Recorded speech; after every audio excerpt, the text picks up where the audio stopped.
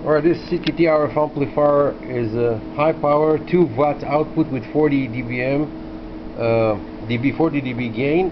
Currently connected with the attenuator here, so what you see here you need to add 10 dB. So showing 26.6 uh, dBm. It's, so it's actually 36 dBm that it's uh, the power that it's giving.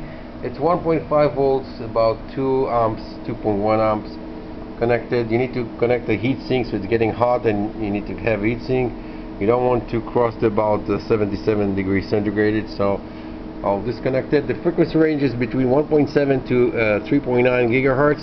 I'll do uh, start 1.7 gigahertz just to see that and we'll shut it down. It's working right now without heatsink so you see 1.7 gigahertz starting point very flat and nice response. High power temperature is still in control here and let's turn it off. Ready to use fully tested RF amplifier. Thank you